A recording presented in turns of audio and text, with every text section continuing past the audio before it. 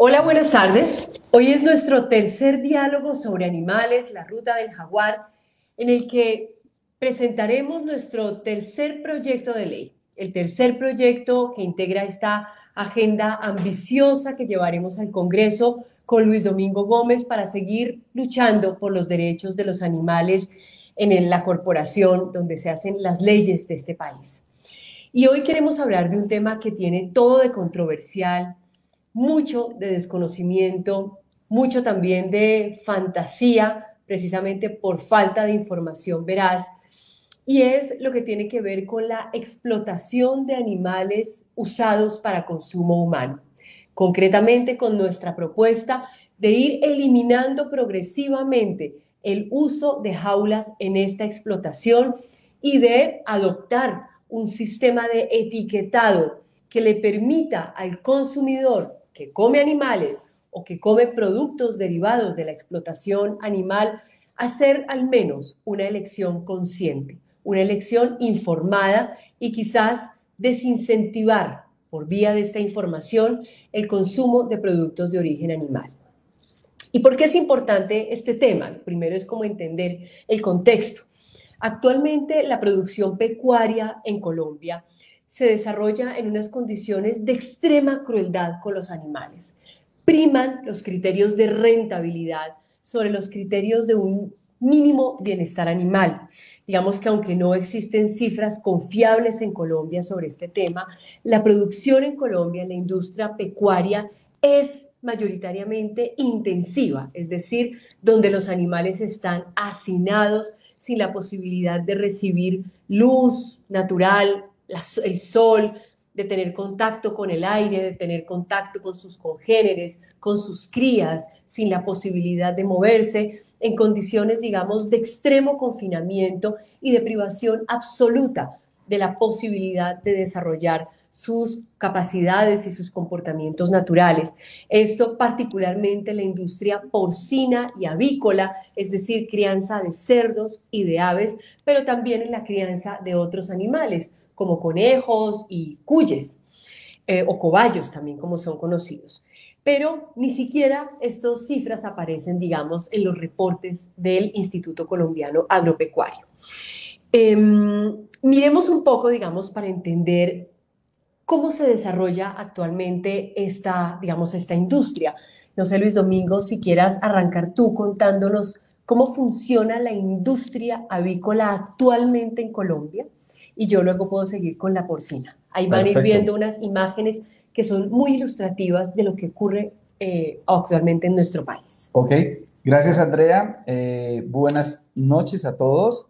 Y efectivamente, el, el gran problema de la producción avícola en el país es que en cifras gruesas, cerca del 95% de la producción de huevo y de carne se está dando en granjas eh, bajo alguna modalidad de cría intensiva, ya sea en galpones o en huevo. Hay que tener en cuenta que normalmente eh, la producción de huevo eh, se hace preferiblemente en jaula.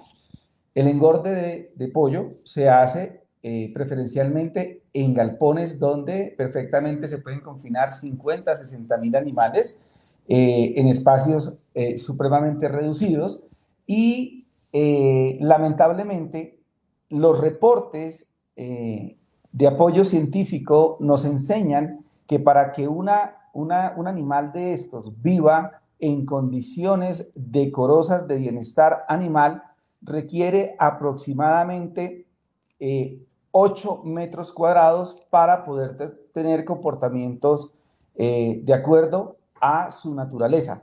Poder estirar las alas, poder, eh, eh, en, lenguaje tranquilo, poder buscar lombrices, eh, poder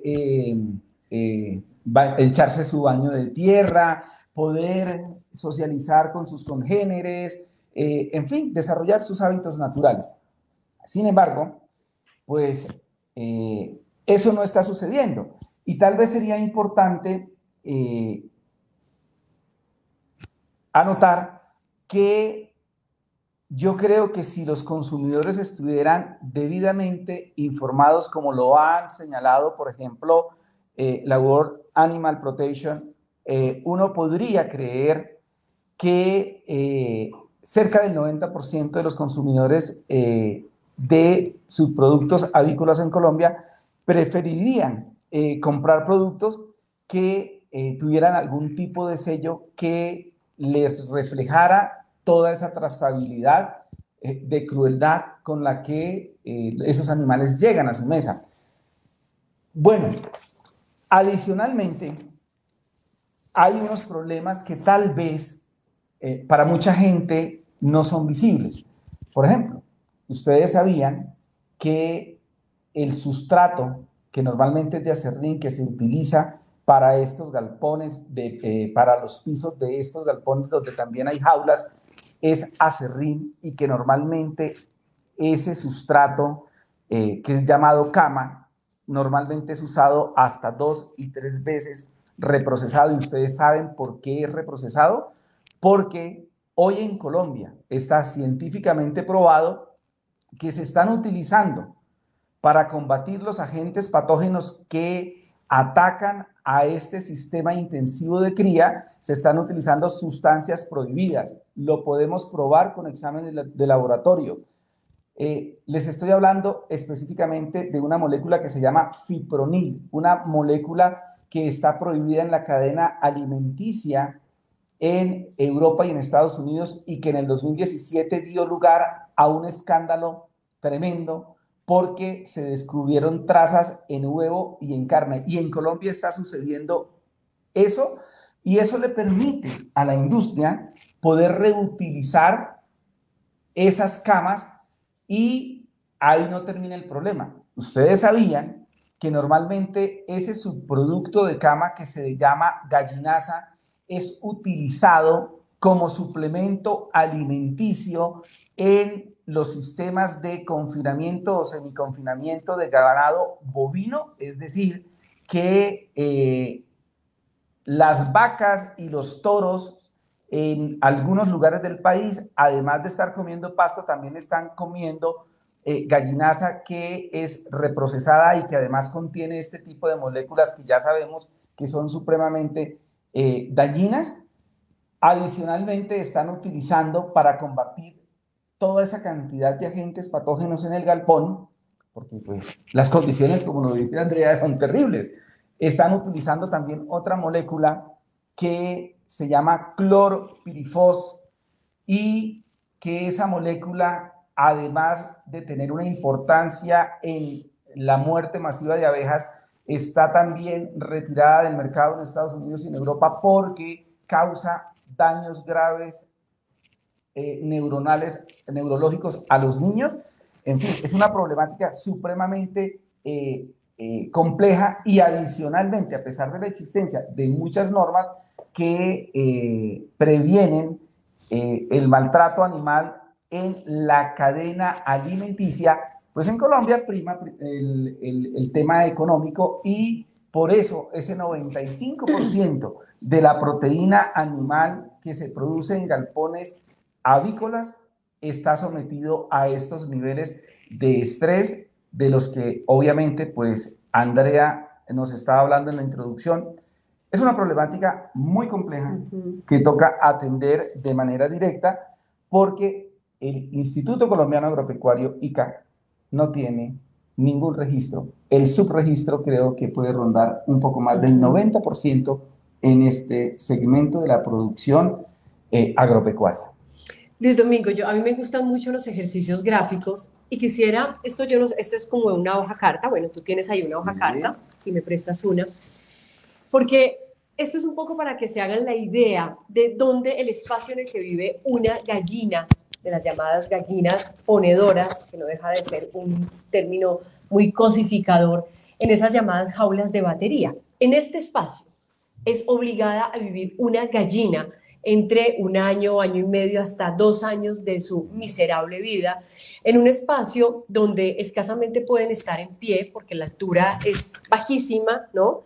Donde no pueden abrir las alas, donde sus patas están deformadas porque la base es una jaula, una rejilla que les permite poner las patas.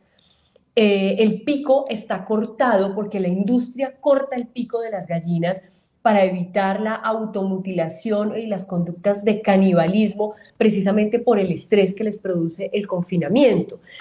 Eh, estas mismas condiciones, digamos, de hacinamiento, que decía Luis Domingo, pues hace que los animales, digamos, sean más susceptibles a esos agentes patógenos, lo que hace que la industria deba incluir en toda la producción este tipo de venenos, fipronil, clorpirifos y en general, digamos, hormonas y antibióticos para mantener a los animales medianamente sanos, lo que ya también crea una resistencia que luego es consumida por quien se come a los animales.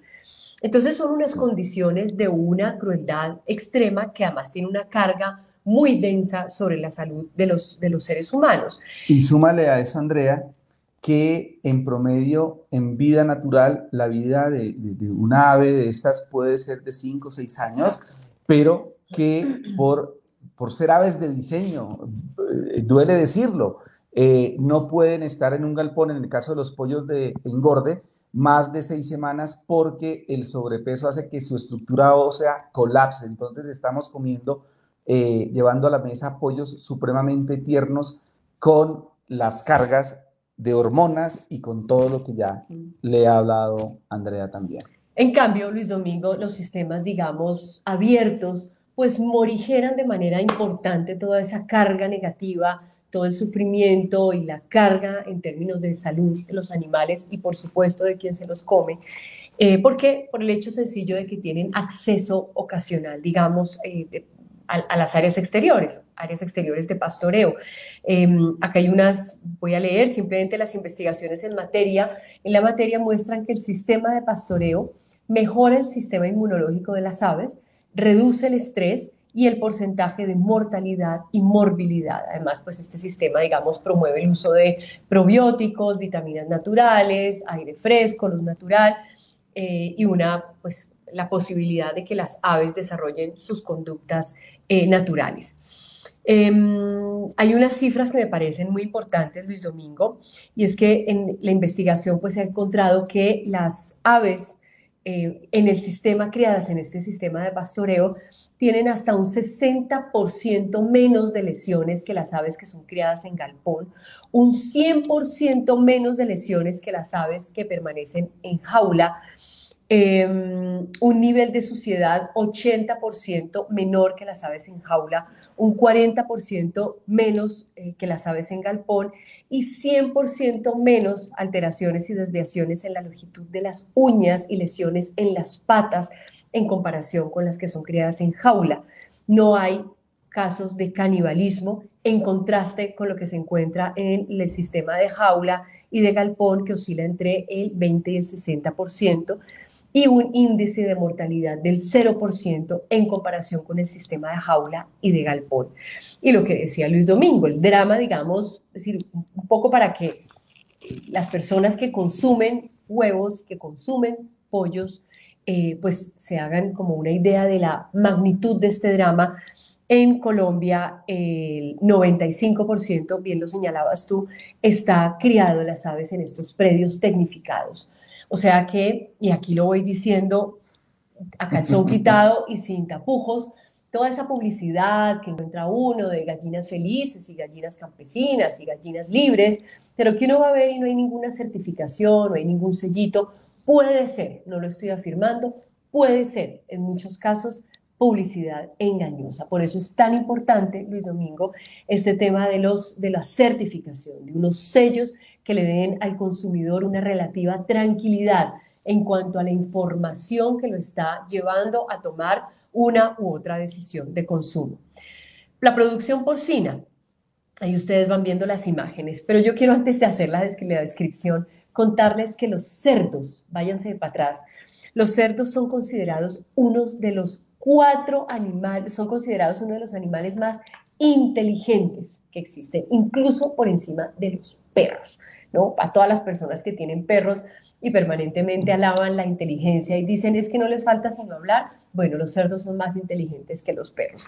Están entre las cuatro especies más inteligentes del planeta los cerdos, por delante, como decía, incluso de los perros, y su nivel de inteligencia cognitiva, que es similar a la de un niño de tres años, les permite reconocer su nombre, les permite obedecer órdenes, les permite crear lazos de afecto con las personas y con otros animales.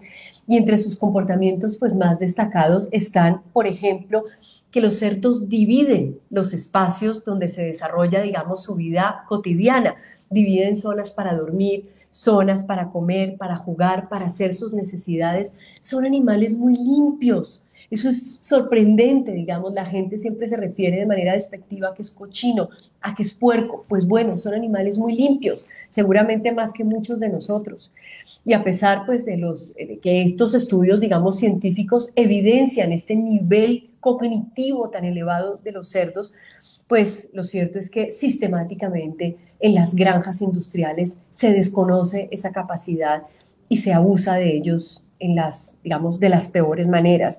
Por ejemplo, las cerdas de gestación, creo que son las imágenes que están viendo, viven en jaulas del tamaño de sus cuerpos, es decir, las cerdas quedan absolutamente apretadas y confinadas entre estas jaulas de gestación, lo que les impide anidar, pastar, darse la vuelta, por Dios, algo tan elemental como la posibilidad de girarse, les impide socializar, hacer sus necesidades en un lugar diferente al lugar en el que duermen. Es como si uno tiene que defecar y orinar y comer en la cama y hacer todo en un espacio, en el mismo espacio, siendo que son animales tan limpios. Les impide tener contacto con sus lechones, madres. Imagínense ustedes vivir separadas en una jaula y tener a sus hijos conectados a la teta y sin ni siquiera tener la posibilidad de tener contacto físico con ellos. Em, esto les produce problemas de salud, infecciones urinarias, huesos débiles, en fin. Y lo dramático es que según el censo pecuario del ICA, un censo del 2001, en Colombia hay casi 6 millones de cerdos, de los cuales el 76,9% son animales que viven, malviven en condiciones miserables en eh, predios de producción comercial y tecnificados. Cuéntanos, Luis Domingo, tú tienes ahí el dato, un poco cómo se está dando esta discusión del uso de jaulas en, eh, en otros países.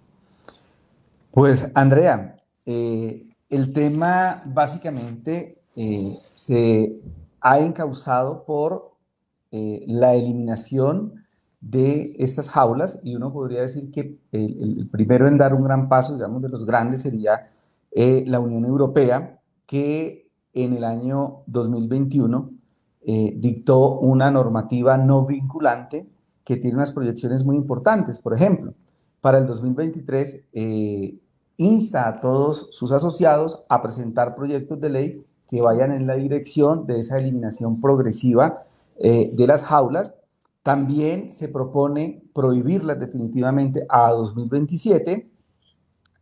También quiere garantizar que los productos importados en la Unión Europea cumplan eh, eh, con un futuro estándar eh, de libertad de jaula para garantizarle al consumidor europeo el mismo estándar que le exige la producción local. Y, por supuesto, esto no puede ser de otra manera, sino que a través de la implementación de incentivos y apoyos financieros para que los productores puedan migrar, sustituir esa tecnología y ofrecerle una mejor, eh, un alimento eh, de, eh, libre de maltrato en jaula, pero también está pensado no tanto en el consumidor, sino en el buen vivir y en el buen morir del animal. Eh, en el mundo, además de esto que le acabamos de eh, comentar, eh, del paso que da la Unión Europea, pues países como Suiza desde el año 92 prohibieron definitivamente las jaulas en los procesos de crianza. Luxemburgo en el, 2010, en el 2007 tomó una decisión similar para la producción de huevo. Austria prohibió las jaulas para toda la producción avícola y lo hizo en el año 2009. Eh, la Unión Europea en el 2012 prohibió jaulas de batería, es decir, eh, donde eh, usted puede meter 40 mil, 50 mil gallinas ponedoras en un solo espacio, confinadas, como lo decía Andrea, en menos de de espacios de menos de 40 por 40 centímetros. Bután también hizo lo mismo, California, Nueva Zelanda, en fin, se vienen dando una serie de pasos hacia la eliminación de las jaulas como técnica de producción de animales de granja. El camino es producir pero con garantía de unos estándares mínimos de bienestar en los animales que están sometidos eh, a este tipo de explotación, mientras la misma explotación permanezca, que ojalá no sea por mucho tiempo. Ahora, Luis Domingo, hay un tema que yo sé que es un tema, digamos, que tú has venido trabajando mucho, precisamente en tus litigios sobre el uso de estas moléculas, ¿no? sí, son moléculas, sí. Ok. El clorpirifos y el fipronil, que el fipronil es un producto. Sí, es una molécula. Fipronil también es una molécula. Es una molécula.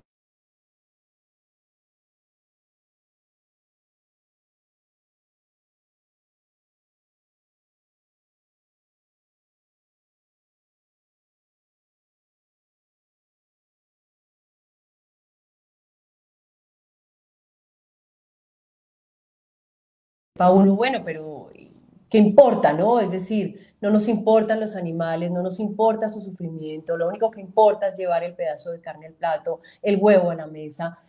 Eh, yo creo que a estas personas, digamos, a las que no les importa la, la, mínima protección de los animales, quizás les importe, Luis Domingo, el tema de la salud humana. Y aquí hay que decir que eh, digamos, tanto la Organización Mundial de la Salud como la Organización Mundial de Sanidad Animal, la OIE, reconocen precisamente que el bienestar de los animales y la salud de los seres humanos que consumen esos animales o los productos derivados de la explotación animal están estrechamente unidos.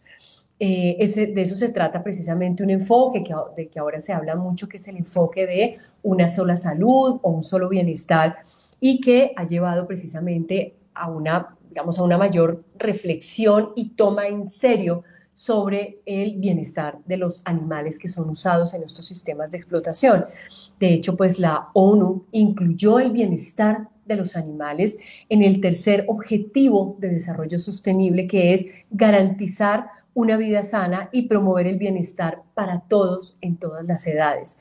Entonces, digamos, yo creo que aquí también hay, una, hay, una, hay un tema, digamos, del debate que es muy profundo y en general son temas muy complejos por eso, es decir, ¿no? la crianza de animales para consumo humano no solamente es un tema del bienestar, de los derechos, de la protección de los animales o, si se quiere, en un debate mucho más profundo sobre el derecho o no que tenemos los seres humanos a abusar de los animales y a utilizarlos con cualquier propósito, a usarlos a nuestra disposición con el fin, digamos, único de satisfacer nuestro paladar, sino que tiene que ver además con el ambiente, ¿no? Todos estos sistemas de crianza tienen un impacto tremendo sobre el ambiente en términos de contaminación de fuentes hídricas, en términos de endurecimiento del suelo, eh, en términos, por supuesto, en general, digamos, de contaminación, porque esos excrementos y esas orinas y esos desechos de los animales están cargados de antibióticos, están cargados de hormonas. Eh, entonces, pues digamos, son temas inescindibles. Y en tercer lugar, por supuesto, la salud de los seres humanos. De hecho, recordemos, Luis Domingo, que la actual eh, pues, emergencia sanitaria se produce precisamente en una relación inadecuada y abusiva eh, entre los seres humanos, los ecosistemas y los animales en un escenario de explotación de animales para consumo humano. Entonces, ¿qué proponemos?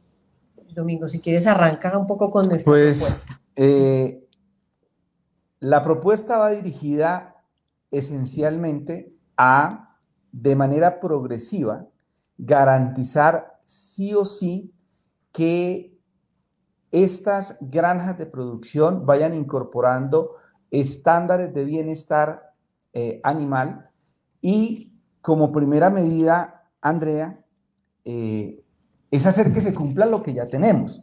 Y ese que se cumpla lo que ya tenemos es justamente hacer que esas condiciones mínimas señaladas en el principio de eh, bienestar animal de los animales, en el artículo tercero de la ley 1774, pues se cumpla.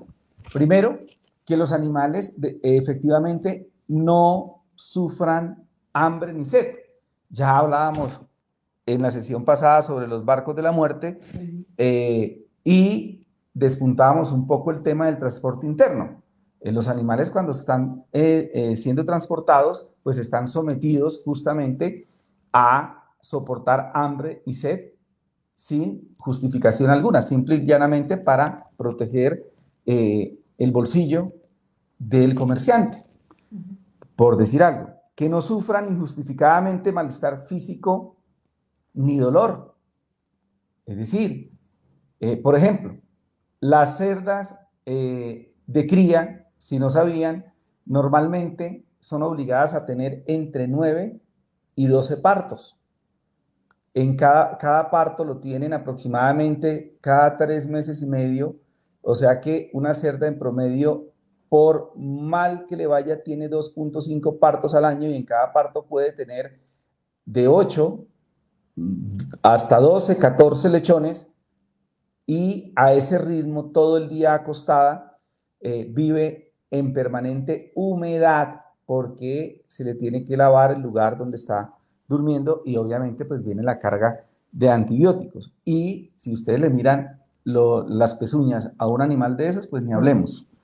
Eh, tercero, que no le sean provocadas enfermedades por negligencia o eh, por descuido, pero que realmente se cumpla.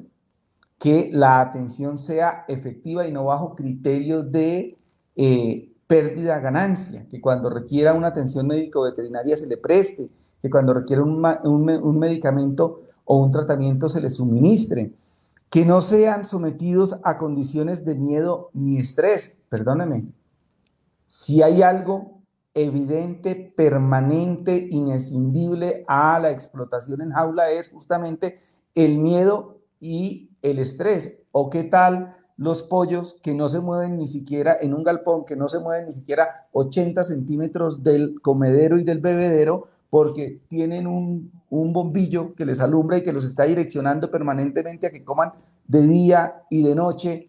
Eh, yo no tengo las cifras, pero habría que indagar eh, cómo es el porcentaje de muerte por infarto en estos galpones, porque cualquier ruido, cualquier movimiento eh, los infarta. Las estampidas son muy usuales en este, en este tipo de, crianza. En fin, eh, o sea, si hay algo permanente, además de lo que hemos dicho, es que viven en estrés y en un miedo casi tan permanente como la disponibilidad de comida. Y quinto, que puedan manifestar su comportamiento natural. Pues ya Andrea se los ha dicho, viven en espacios que tal vez, siendo muy generosos, se asimilan a esta hoja eh, tamaño, no es oficio, es carta. Entonces, eh, de manera definitiva, pues si hay algo que se le restringe a un animal, es en este sistema de crianza, es la libertad. Por eso tan importante conectar, por ejemplo, con la primera charla de llevarlos a la Constitución, porque una de esas garantías básicas es la libertad, y en este caso, pues una libertad que les permita tener un buen vivir, sabiendo que eh, están siendo criados para llevarlos a la mesa, pero que vivan bien, que la gente no consuma crueldad, no consuma dolor, no consuma estrés y que el animal, eh, por más corta que sea su vida, eh, pueda vivir de la manera más digna posible. Mire, la agenda que tenemos con Luis Domingo es una agenda en defensa de todos los animales. Esto no es solamente de perros y gatos, es, es por supuesto de perros y gatos, pero es también de todos los animales que sufren en sistemas de explotación, en prácticas de abuso en Colombia. Y sobre todos esos escenarios hay que arrojar una mirada, un manto de protección, hay que dar un gran debate público, hay que proponer normas, hay que sacudir a las instituciones, porque todos los animales en este país merecen unas medidas de protección y de protección de su vida digna. Los animales que son explotados en la industria cárnica, en la industria láctea, en la industria eh, avícola, son tal vez los animales más sufridos en Colombia y en el mundo, porque son los animales históricamente más desatendidos por el hecho sencillo de que nos hemos pues habituado a comer sus cuerpos y a comer sus productos y consideramos que son, digamos, objetos inertes el mismo sistema de producción y de explotación se ha encargado de que agrandemos y aumentemos las distancias que tenemos con ellos. Los mataderos están en las periferias de las ciudades. Los sistemas de crianza no sabemos qué es eso. Y todavía hay mucha gente que, aunque parezca mentira, cree en la fábula de la granja del tío Tom, donde los animales están felices, pastando, muertos de la risa, y sumémosle a eso la publicidad engañosa de la vaca que, que, se muere de la risa y del cerdo que está encantado de que le corten las patas y del lechón feliz. Nada de eso es realidad. La realidad de los animales en esta industria miserable es que sufren de las peores maneras y tienen unas vidas de miseria que ningún ser sintiente se merece. Por eso la idea con Luis Domingo es dar un gran debate sobre este tema, que sabemos como siempre va a ser muy difícil, porque el lobby de los gremios es un lobby muy poderoso.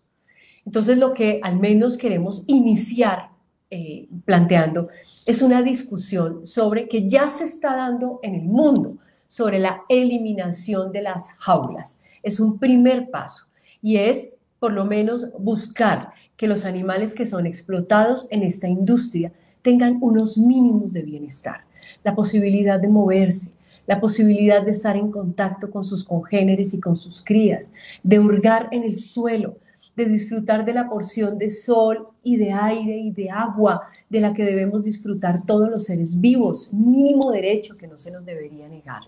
Entonces lo que queremos es empezar por esta eliminación progresiva. Por supuesto, ojalá en algún momento en la evolución de nuestra especie, también animales, podamos reemplazar la industria pecuaria por la industria agrícola, pero mientras tanto tenemos que avanzar eliminando las peores formas de maltrato, de abuso, de crueldad.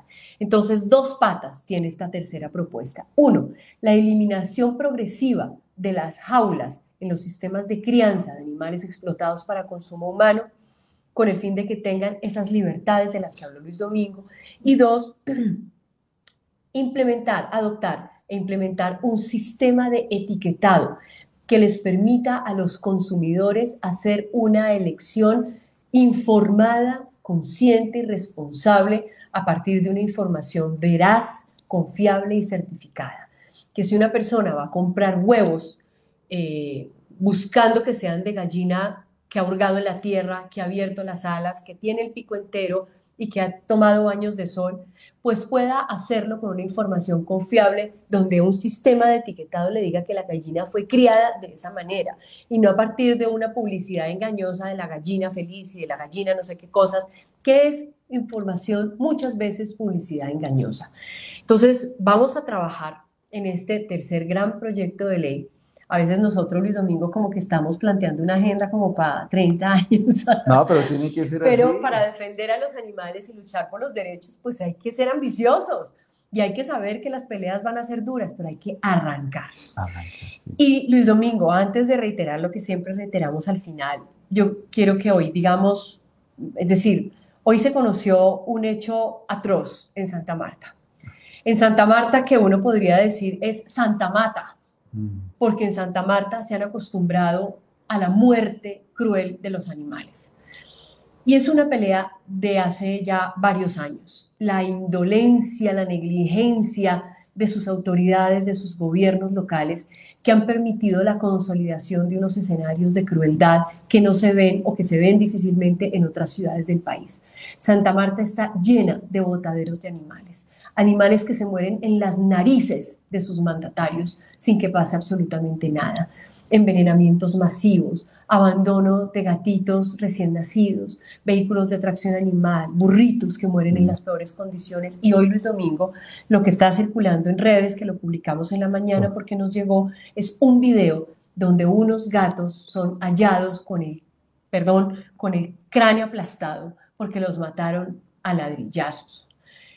No va a permitir que se me quiebre la voz, simplemente quiero decir que esto lo debe conocer el mundo entero, que es una vergüenza que en Santa Marta exista una mandataria con este nivel de indolencia y de negligencia que permite que en sus narices los animales sean masacrados de esta manera, que seguiremos acompañando a la veeduría de Santa Marta en la lucha que tienen a partir de la, eh, de la tramitación de una acción popular que ya falló, pero que la alcaldesa se pasa por la faja sistemáticamente, Luis Domingo, y pedirle al GELMA, al Grupo Especial de Lucha contra el Maltrato Animal de la Fiscalía, que tome cartas en el asunto, porque claramente hay allí un delito contra la vida y la integridad física de estos animales que además son, eran bebés.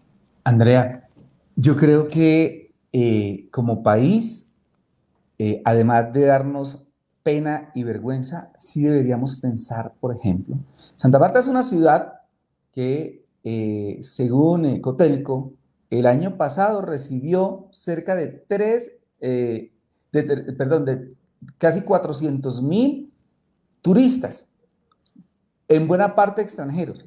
¿Qué tal, Andrea, si eh, en algún momento nos vamos al aeropuerto y le pedimos a esos turistas que van a Santa Marta porque la quieren, que se eh, tomen en serio que esa ciudad debe ser respetuosa con los animales y que de alguna u otra manera sienten su voz de protesta y elijan otros destinos hasta que Santa Marta realmente atienda a los animales como lo debe, porque es una desgracia infinita. Y debería haber una campaña en ese sentido. Y deberíamos pensar en algo para desincentivar Santa Marta como destino turístico, porque es un destino turístico que está pensando en cualquier cosa menos en proteger a sus animales. Me parece una vergüenza total, me parece una vergüenza absoluta. Y no tengo nada contra los amarios pero yo creo que las autoridades están fallando. Y adicionalmente, uno extraña la intervención de la Procuraduría General de la Nación. Y es más, hasta uno se atrevería a pedirle a los amarios que de seguir esta situación eh, miraran la posibilidad, creo que jurídicamente ya no, la, los tiempos están muy cortos, pero perdóneme, es una administración que perfectamente podría ser eh, revocado su mandato por la desatención tan flagrante de eh, la protección de, los, de sus animales. Es una, una, vergüenza. Ojalá se motivaran a hacer eso. En Cincelejo están en ese proceso de revocatoria del alcalde, otro alcalde sin vergüenza, que autorizó el regreso de las corralejas, dio permiso express, se pasó por la faja todas las recomendaciones de la Procuraduría de suspender las corralejas.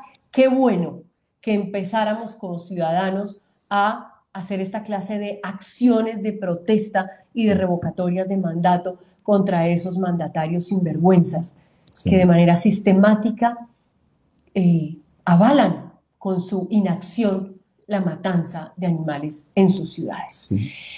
Bueno, Luis Domingo, pues nuevamente invitarlos a que nos apoyen, no nos cansaremos de decirlo, que esto se nos convierta en un mantra para lograr sacar adelante esta agenda robusta, ambiciosa por los derechos de los animales, que no tiene ningún otro candidato o candidata ni a la Cámara por, por, Bogotá, ni al Senado, ni a ninguna Cámara en el país.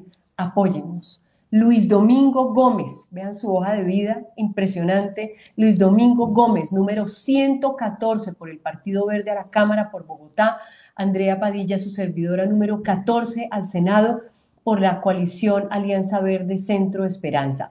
Échenle una miradita a nuestra página web www.andreapadilla.org. Ahí encuentran nuestros perfiles, qué hemos hecho, cuáles son nuestras propuestas.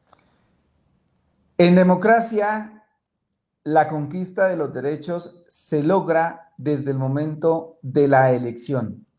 Si ustedes están convencidos que el camino eh, jurídico es llevar los animales a la Constitución, deben saber que sin su voto eso no va a ser posible, porque somos la única fórmula que tiene la experiencia probada y la capacidad y la interesa para proponerle un cambio a profundidad al Estado colombiano, para que los animales dejen de ser invisibles, para que los animales sean reconocidos y sean protegidos. Recuerden, 14 a Senado, eh, Coalición Verde Centro de Esperanza, Andrea Padilla, senadora, pueden votar en Colombia y en cualquier lugar del mundo, estén en la China, en Nueva Zelanda, sea de día o sea de noche, pueden votar y recuerden que en muchos consulados hay una jornada especial de inscripción de cédulas. Por favor, háganlo. No dejen de pensar en los animales. A la distancia nos pueden ayudar. Y obviamente, pues a este servidor en el Distrito Capital lo pueden apoyar marcando 114 Partido Alianza Verde. Mil gracias por su confianza. Feliz noche. Chao, un abrazo. Nos vemos el martes 8 de febrero para hablar de la propuesta de empezar la transición de zoológicos a santuarios. Un abrazo. Chao. Chao.